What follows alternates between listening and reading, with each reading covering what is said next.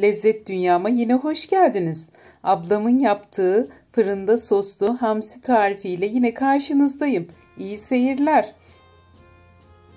1 kilogram ayıklanmış, yıkanmış hamsimiz var. İlk önce 1 yemek kaşığı karışık salçayı yarım su bardağı soğuk su ile karıştıralım ve sos hazırlayalım. 8-10 diş sarımsağı da bütün olarak hamsiye karıştıralım. Teflon tepsimizi de yağlayalım. Sosumuzu hamsiye döküp güzelce karıştıralım.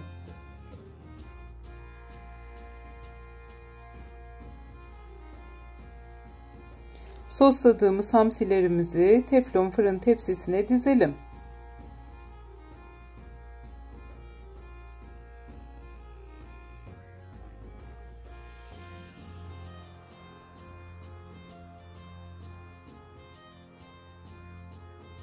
Hamsilerimizin üzerine yeşil biber, soğan, domates dilimleyip ekleyelim.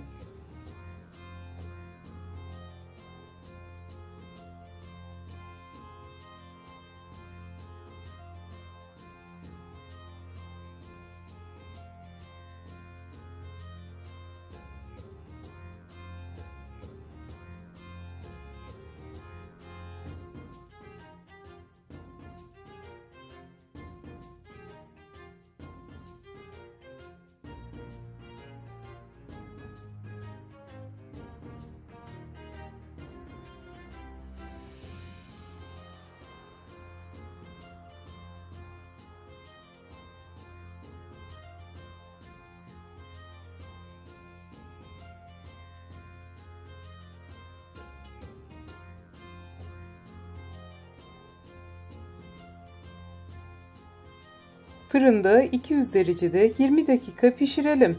İsterseniz üzerine limon dilimleri de ekleyebilirsiniz. Deneyecek olanlara afiyet şifa olsun. Başka videolarda görüşmek üzere. Allah'a emanet olun.